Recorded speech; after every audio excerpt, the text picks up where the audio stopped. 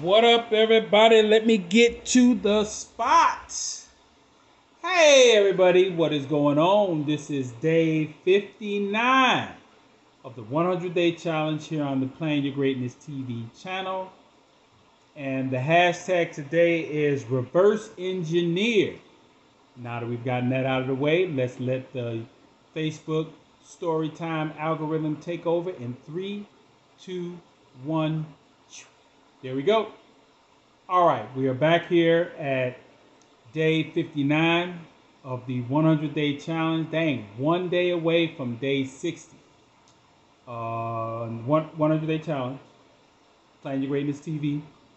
And the hashtag again is reverse engineer. Now, how did I come up with that one today?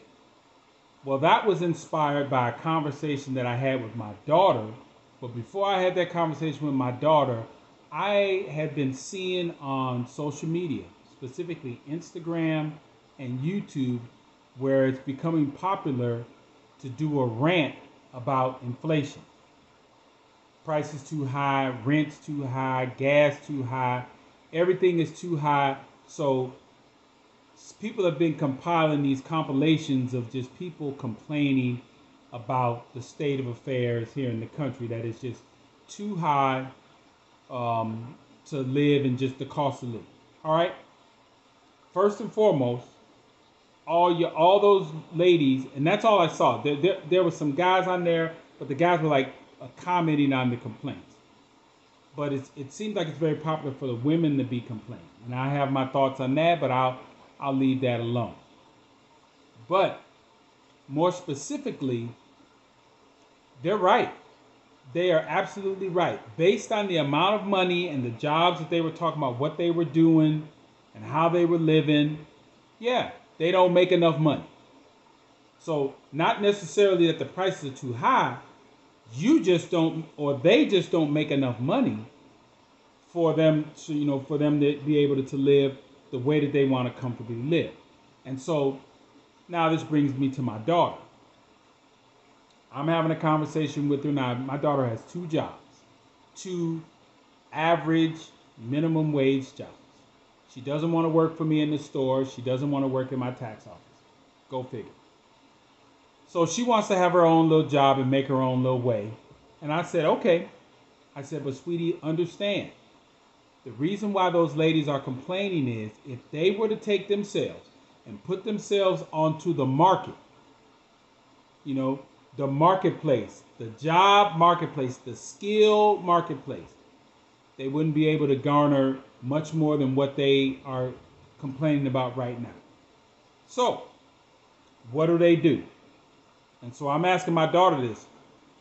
What do they do? What do you do? Well, what we're going to try to do is intercept that whole process that's coming down the pipe. Because all the things that you want to do, and I'm saying this to my daughter, that you want to do in life, realistically, you need to be making about $100,000 a year. If you want to travel and see the world and make an impact and be able to do all those things. I told her, and I told her this years ago because we did this little formula.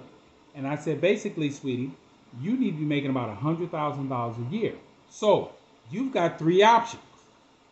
The way that you can get to that $100,000 is either one, go the education route.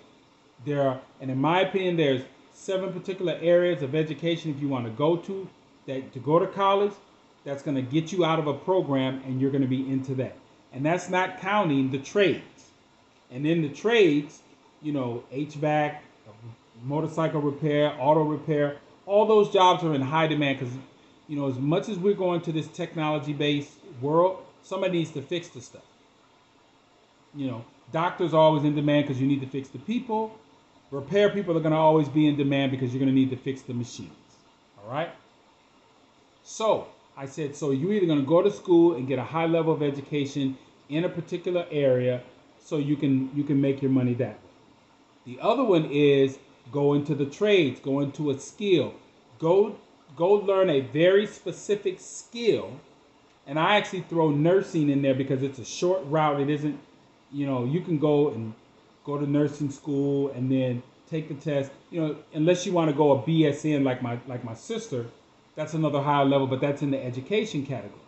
So you've got high levels of education, you got going to a skill or a trade school, and the other one is take the time to find a business, maybe some skill that you have that's unique to other people, or you go find a company you can work for, learn the skills, work your way up through that sales in some some way shape or form you go that route. Because if you don't go that route and you think you're just going to get at some job that's one of these jobs that can be replaced by a machine or or another person it doesn't have a lot of value in it you're going to always stay in, stay in that same space. So more education more skills through trade or trade or something or, or some sort of business because the minimum wage is not going to take you where you want to go. And that's what's happening with these people online. They're complaining that they don't have the skill set to then put themselves on the market and ask for a higher wage. So now you're asking for an employer to pay you more money when you don't bring enough value to the job to be compensated in that in that department. So again, back to the conversation I'm having with my daughter if you if you look at the, the landscape of the world and you say this is what I this is how I want to live, then it becomes very easy. It becomes a mathematical equation say this is how I want to live. So these are the things that I have to do in order to live that way. And if you do that, the formula is easy and you're planning your own greatness. All right? So I'm going to leave you with what I leave you with every day, and that is plan your greatness. You know why? Because no one else will. I will see you all tomorrow.